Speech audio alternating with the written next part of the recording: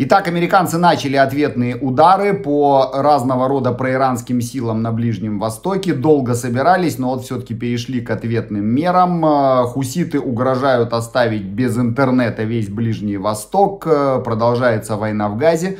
Продолжается война на севере Израиля. Я сегодня расскажу о тех самых четырех сценариях развития событий, о которых вчера буквально вот забыл упомянуть в сводке, о чем вы написали в комментариях. Это будет такая своего рода работа над ошибками. История с группой Би-2 и, в общем, разные другие события, касающиеся и Израиля, и Ближнего Востока, и войны в Украине тоже. Э, всем привет! Э, меня зовут Сергей Услендер. Это будет очередной обзор событий за неделю. Раз формат понравился, будем его продолжать. Теперь переносим его на воскресенье. Все-таки будем ориентироваться на человеческую неделю с понедельника по воскресенье. Э, не забывайте, пожалуйста, поддерживать эти видео. Лайк, подписка, комментарий. Все несложно, все очень помогает. Можно донатить на канал, помогать финансово. Э, Все это помогает оплачивать работу команды и продвижение канала, и его устойчивую работу тоже. Кнопочка супер спасибо вот здесь, как я всегда говорю, сердечко с долларом или надписью thanks. Две платформы Boosty и Patreon, ссылки на них находятся в описании. Можно стать спонсором канала на YouTube. Огромное спасибо всем, кто это делает. Ну, пожалуй, главное событие касающиеся Ближнего Востока, это вот ответные удары американцев. Они 27 января произошло вот это нападение на американскую базу. Э, беспилотник там убил трех человек, троих американских военных, еще больше 30 получили ранения, в том числе тяжелые, и американцы пообещали ответ. Иран пообещал ответ в случае ответа американцев. В общем, все это выглядело на самом деле как какой-то полнейший цирк. Примерно 5 дней все это висело в воздухе, непонятно как. И вообще возникло ощущение какого-то договорника. Американцы сказали, что мы должны ответить, но аккуратно, так, чтобы не зацепить Иран. Иран сказал, что не дай бог вы нас зацепите, мы тут вообще все испепелим буквально. Э, в итоге американцы сказали, ну у нас нет убедительных доказательств, что Иран имеет отношение к этой атаке. Иран сказал, что э, а это вообще они сами, а к нам это вообще не имеет никакого отношения. Все это напоминает такой ритуальный танец, да, ты мне вот спину почеши, и я тебе вот здесь почешу. В итоге американцы, которые, конечно, не могли оставить это без ответа, приступили сегодня ночью к нанесению ударов. Американские ВВС, в том числе с применением бомбардировщиков Б-1 Лансер, они э, начали наносить удары по позициям различных вот этих, по объектам проиранских всяких сил, шиитских милиций, ополчений там и так далее. Э, все они, конечно, проиранские, все они имеют отношение к Ирану так или иначе, но впрямую, конечно, ни в каких атаках там на иранские объекты и, боже упаси, на территорию Ирана и речи не идет. Удары такие носят довольно массированный характер, проходят на территории Сирии и Ирака. В ответ э, разного рода вот эти вот террористические группировки начали обстреливать американские базы. Ну, я полагаю, что если не случится ничего непоправимого, американцы сейчас вот несколько дней их побомбят. Правда, они сказали, что это будет продолжительная кампания длиной там в целые недели, но я в этом лично сильно сомневаюсь. После чего скажут, что террористам нанесен непоправимый ущерб, смертельные удары не получили, мы отомстили за гибель своих военных, все, привет, спасибо, расходимся. Еще раз, пока в Америке не пройдут эти долбанные выборы, ни о каких решительных действиях со стороны американской администрации на Ближнем Востоке и речи быть не может. Э, к сожалению, это так. Что касается войны в Израиле, э, войны в Газе, там все, в общем, продолжается в прежнем режиме. Э, идет сражение за Хан Юнес, там практически сломлено сопротивление Хамаса. Там обнаружены были такая сеть туннелей, бункер и сеть туннелей, в которых скрывался Синвар. Военные обнаружили э, эти туннели. Вот там был штаб Синвара, но он оттуда куда-то перешел. Вероятнее всего вместе с заложниками. Последний город, который контролирует э, Хамас, это Рафех. Судя по всему, по Рафеху принято принципиальное решение. Войска будут туда заходить, но для этого придется переместить оттуда огромное количество беженцев, мирных жителей, которые там скопились. Короче, тоже такая задача весьма и весьма сложная. И самое главное, что касается войны в Газе, это, конечно, предстоящая сделка по освобождению заложников. В принципе, обрисовались ее контуры. И контуры эти такие для Израиля крайне нерадостные. Сразу скажу, я за то, что нужно заложников освобождать. Вопросов нет. Э, эти люди попали в плен, не будучи военными. Это эти люди спали в своих постелях спокойно в своих домах, когда к ним пришли террористы. Государство не выполнило базовый контракт с гражданином, не обеспечило ему безопасность не обеспечило безопасности его дому, и государство обязано сделать все для того, чтобы его оттуда вытащить. Вопрос дальше вот какой ценой. Цена следующая. Террористы предлагают, значит, первый этап освобождения 35 заложников. Это в основном женщины, э, больные, старики, э, пожилые мужчины и так далее.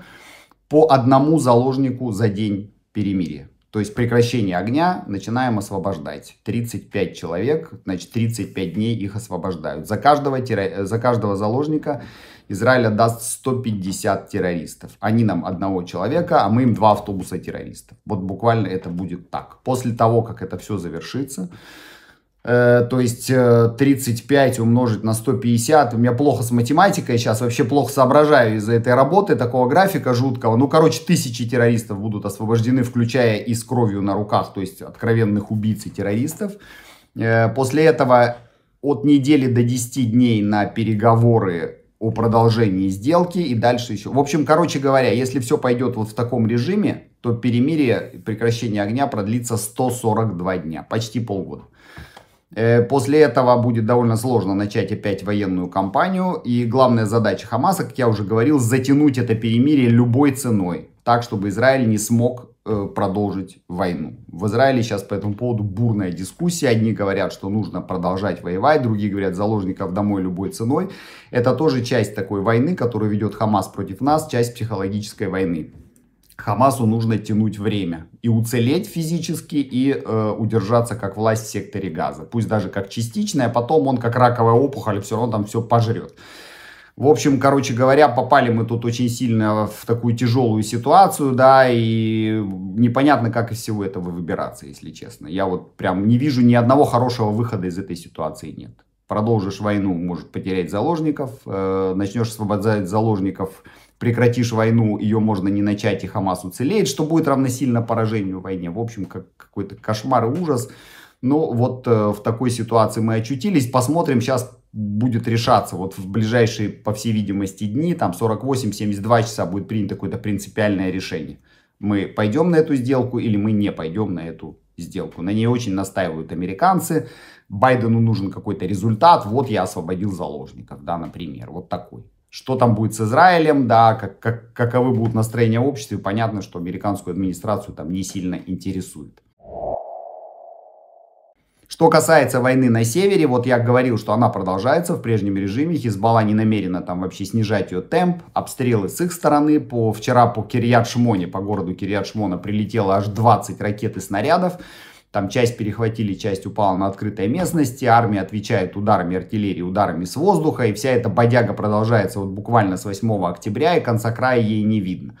Я напомню, что по сообщениям Вашингтон-Пост израильтяне передали американцам ультиматум до конца января либо дипломатическое решение проблемы, либо мы начинаем воевать уже по-взрослому. Но вот сегодня у нас э, 3, да, если я не ошибаюсь, да, 3 февраля, когда я записываю этот обзор, и пока там особых движений нет по этой части, все продолжается в прежнем режиме. Так вот, о возможных четырех сценариях э, того, как там все будет развиваться. Сценарий первый. Случилось чудо в Хизбалле вспомнили, что, ё-моё, 18 лет назад, оказывается, была же резолюция 1701 Совета Безопасности ООН. Мы ее просто вот не заметили, вот она, вот она, вот давайте-ка ее срочно выполнять, и Хизбалла отходит за реку Литань.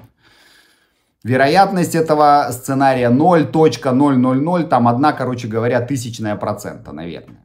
Э, сценарий номер два.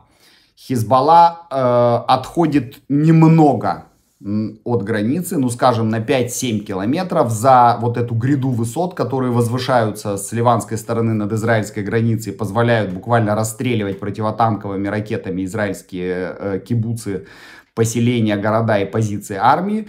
Вот Хизбалла чуть-чуть отходит назад, Израиль это как бы устраивает, жителям севера говорят, все нормально, фактор сдерживания восстановлен, возвращайтесь домой. Кто купится на эту туфту, я даже не знаю, если честно. Сейчас никому это продать нельзя.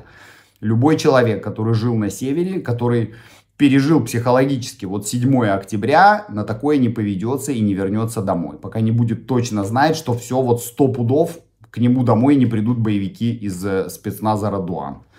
Так что это, э, вероятность этого сценария тоже довольно низкая. Э, сценарий номер три. Большая война, но ограниченная по времени. Мы там наносим удары по Хизбалле в Южном Ливане. Хизбалла начинает обстреливать нас уже по-серьезному, там на всю глубину Израиля, мы на всю глубину Ливана. Все это продолжается, скажем, там 10 дней, 2 недели, после чего Хизбалла, объявив о своей победе, отходит за реку Литани. Да, Ливан подвергается серьезным, но не абсолютно фатальным разрушениям. У нас тоже там разрушение и ущерб. И обе стороны, еще раз говорю, объявляют о своей победе. И жителям севера говорят, возвращайтесь в свои дома, все нормально, фактор сдерживания восстановлен. Опять же, большой вопрос, купятся они на это или нет, но это будет уже хоть что-то, хоть, хоть какая-то демонстрация нашей решительности. Э, и четвертый сценарий, это полномасштабная война вот до с входом войск в Южный Ливан, с созданием там буферной зоны, да, с созданием там такой э, сети израильских укреплений, э, там, я не знаю, наличием там израильских войск, вот тогда, наверное, да, жители севера вернутся в свои дома, но ущерб от этой войны для Израиля будет огромный и страшный. Для Ливана он будет абсолютно фатальный. Ливан как государство может прекратить свое существование буквально. Так что я бы поставил на третий сценарий, то есть полномасштабная война, но ограниченная по времени, такая демонстрация силы, я бы сказал, без входа войск в Южный Ливан. Э, но какой именно вариант выберут, я не знаю. Либо останется все как есть сейчас, но это вообще какой-то бред. Это высосет из нас все соки буквально, и я не знаю, во что превратится тогда Израиль, да, фактически отступив от границы, фактически утратив свой суверенитет над частью территории. Я даже не знаю, что это будет, поэтому, поэтому посмотрим. Ну, конечно, нельзя не упомянуть о хуситах, э, которые, во-первых, вчера обстреляли опять город Эйлат на юге. Система ХЭЦ противоракетная перехватила баллистическую ракету над Красным морем. В городе даже не объявляли тревогу, потому что рубеж перехвата был очень далеко. И если бы перехват был неудачный, то успели бы э, включить сигналы оповещения. И тут э, дошло до любопытного. Хуситы пообещали перебить кабель, который проходит по дну Красного моря и который ведет в, из Европы как бы в страны Ближнего Востока и в обратном порядке. Это не полностью отключит интернет во всем мире, да, это не так, но это довольно серьезная такая, такой удар. Это может, вот я вчера, когда сидели мы в эфире на девятке, у, ну, у себя на работе я сидел, там сидел у нас напротив человек, да, специалист э, по, э, ну вот, по интернет-трафику, такой, в общем, глобальный сисадмин, и он сказал, что это очень резко просядет скорость интернета. Пока это все дело починят, пока это все дело восстановят, пока переключат трафик, на долгие дни или даже недели может сильно просесть э, трафик в Израиле, буквально вот полностью невозможно будет смотреть YouTube, невозможно будет пользоваться там определенными сервисами, да, ну, короче, это будет большая проблема, мы очень сильно зависим от интернета сейчас, вот прям зависим уже не просто с точки зрения развлечения или даже получения информации, но с точки зрения получения различных сервисов и услуг, тех же банковских, например. Короче, хуситы могут создать серьезную проблему. Э, там глубины небольшие, там, где проходит этот кабель, да, и там целый пучок этих кабелей проходит буквально. Если они их там какими-нибудь взрывами или там с помощью подводной диверсии, там каких-нибудь водолазов, диверсантов до них доберутся, то это будет большая проблема, а восстановить эти кабели, это будет тоже проблема, потому что с берега по этим ремонтным кораблям будут пускать противокорабельные ракеты. И там придется проводить супер спецоперацию для того, чтобы эти кабели восстановить. Опять же, никто не гарантирует, что их опять не взорвут. Короче говоря, хуситы вот такую проблему создали, но на самом деле это не хуситы, а Иран. Вот, так что, может, даже э, Иран от них этого и не требовал, но вот, э, что называется, действует на опережение и с некоторым перебором. И э, на самом деле это такая серьезная красная линия. В свое время, когда ИГИЛ воевал с э, сирийской армией, на реке э, Ефрат э, есть плотина, огромная такая плотина, гидроэлектростанция, построенная там еще, по-моему, Советским Союзом. И были опасения, что сейчас ИГИЛ ее взорвет. Но ИГИЛ этого не, не стал делать, потому что есть, еще раз говорю, вот прям даже у террористов есть красные линии, что инфраструктурные, глобальные инфраструктурные объекты трогать нельзя ни в коем случае. Это только Россия умудрилась взорвать Каховскую ГЭС, да, потому что у нее-то вообще никаких красных линий. Но э, вот, короче говоря, это может породить такую серьезную проблему, и сейчас вот тоже над этим думают, что со всем этим делать. Довольно примечательная история случилась с группой Би-2. Я напомню, что музыканты группы Би-2 живут в Израиле, э, у них израильские паспорта. Они полетели в Таиланд э, с гастролями, там собирались дать концерт, там внезапно к ним заявилась полиция, обвинила их в том, что у них не было рабочей визы. Им сначала выписали штрафы, потом вернулись, их забрали в миграционную тюрьму, и зашла речь о том, что их могут депортировать в Россию, потому что у части из них есть российские паспорта, и они по ним заезжали в э, Таиланд.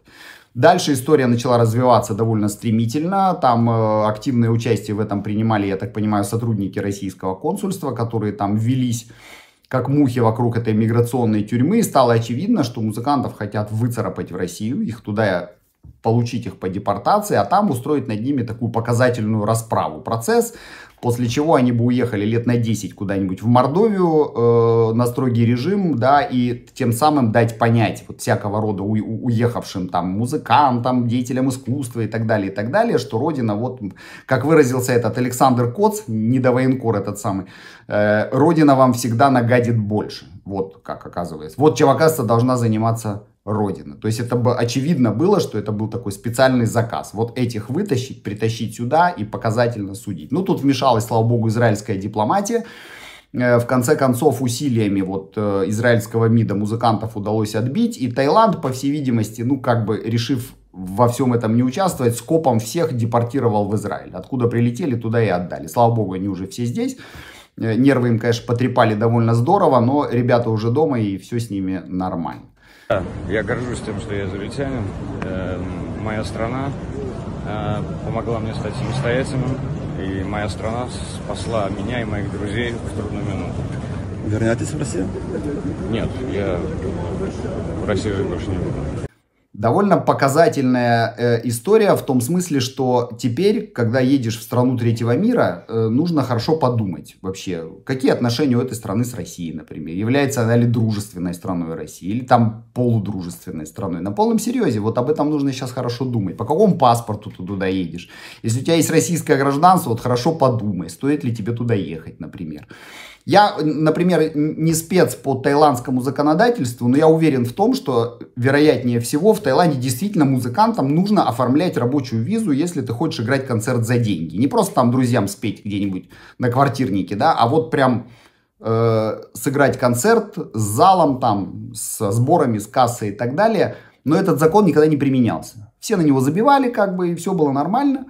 Но в странах третьего мира всегда есть такое избирательное применение закона. То есть вот закон не применяется, но его всегда можно применить. Тут подъехала российская дипломатия, там шепнули кому-то на ушко, а может что сунули. И сразу вспомнили про этот закон. И история вот эта чуть не закончилась плачевно. И довольно примечательна э, и реакция российского МИДа которые в своем сообщении, это висит у них на телеграм-канале, вот кто хочет, может посмотреть, э, написали такую вещь, что э, поздравляем российский МИД, не могут спасти заложников, спасли хотя бы музыкантов. Да?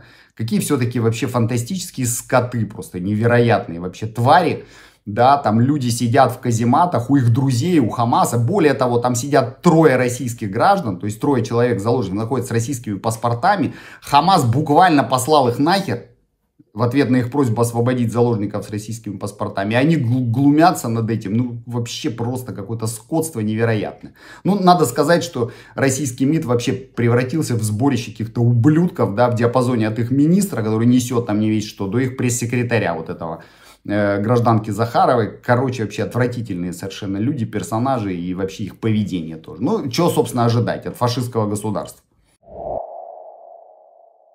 Ну, наверное, имеет смысл упомянуть, конечно, об истории с Залужным. Я, честно сказать, не сильно в это дело вдавался. Я так понимаю, что э, Залужного все-таки при, э, решено отправить в отставку. Очень странным образом это все было оформлено. Еще раз говорю, всег, я всегда как бы говорю о том, что любого человека можно отправить в отставку. Да? В конце концов, верховный главнокомандующий президент Зеленский, он имеет право принять решение об отставке любого человека, который находится в его подчинении, да, в том числе и военного руководителя, главкома, все это делается, там вот назвали причину, вот, пожалуйста, указ об отставке, вот кого назначили вместо, все, дальше все это вот как-то странным образом выплеснулось в публичное поле, администрация их президента, имеется в виду офис президента Зеленского, начал говорить о том, что да, бы вообще ни, ничего такого не было, потом выяснилось, что все-таки отправляют в отставку и так далее, все это весьма печальная история, конечно, для воюющей страны это выглядело крайне-крайне странно и плохо. И э, кроме этого, ну, в этом прослеживается одна такая вещь. Э, я в свое время говорил в одном из видео, ожидания от украинского наступления, да, того вот осенне-летнего, которое закончилось-то, в общем, неудачей, да, были чудовищным образом перегреты, чудовищным образом. И когда оно не получилось, когда оно фактически провалилось, начали искать виноватых да, политики указывают на армию, армия указывает на политиков, да, и вот это вот все весьма и весьма выглядит, э, ну, как бы это нехорошо, вот я бы сказал, да, это, кстати, нехорошо выглядит для союзников, если у Украины нет единства в руководстве, в военно-политическом, так как вот мы им будем помогать и давать им деньги, да, и давать им оружие, если они там между собой не могут разобраться. Ну, короче, печальная эта все история, посмотрим, чем она закончится, кого назначат, вот вроде говорят про Буданова, ну, опять же, посмотрим, когда опубликуют все это официально. Но еще раз говорю, выглядит это все крайне неприятно и нехорошо.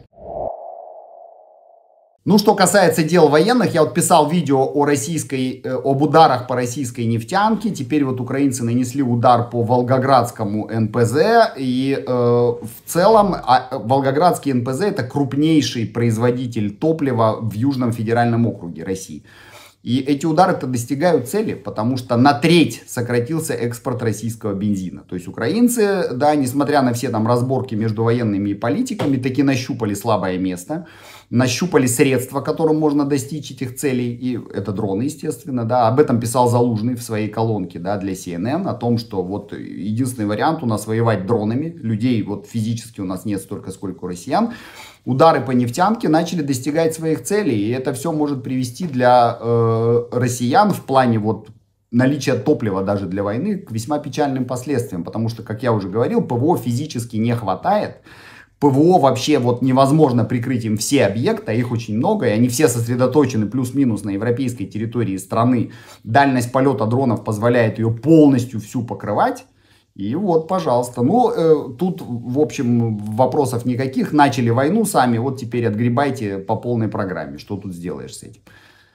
И э, довольно любопытный момент, это вот потопление катера Ивановец. Почему все называют катером, на самом деле это малый ракетный корабль. Это довольно серьезный такой корабль, да, у которого на борту 4 ракеты «Москит» и мощный комплекс радиоэлектронной борьбы. Это серьезный как бы серьезное оружие, между прочим, да, этими ракетами «Москит» можно было там топить корабли, они вообще изначально противокорабельные, а можно было э, наносить удары по береговым целям, и, в общем, украинцы потопили его дронами, причем потопили они его в Дону, Донузлав, это вот озеро, соединенное с морем, ну, такая как бы внутренняя гавань, насколько я понимаю, вот туда проникли эти дроны надводные, э, украинские, и есть видео соответствующее, где один дрон бьет корабль, его обездвиживает, второй пробивает дыру, третий заезжает в эту дыру. В общем, корабль потопили, э, сдетонировали, судя по всему, эти ракеты «Москит».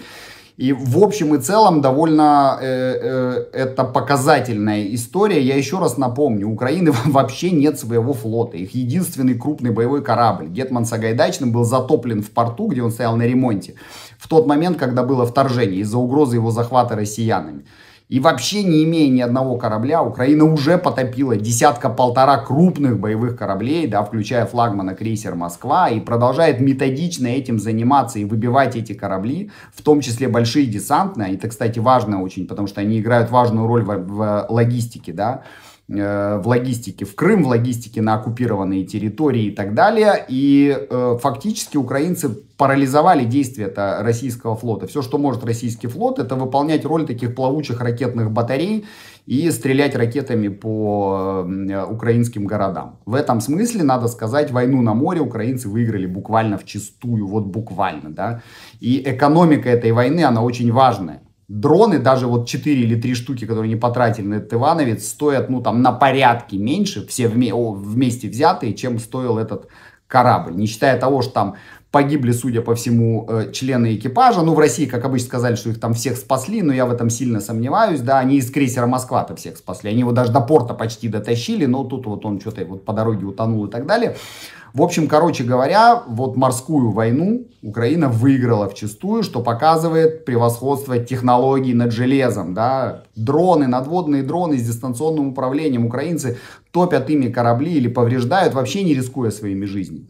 И вот большие корабли оказались практически бессильны против такого оружия. Ну, дай бог, украинцам вообще удастся там э, весь их Черноморский флот перетопить, но до этого еще, конечно, очень далеко, там еще довольно много кораблей, и война еще предстоит долгая, война предстоит трудная, и о ней мы еще будем с вами говорить отдельно.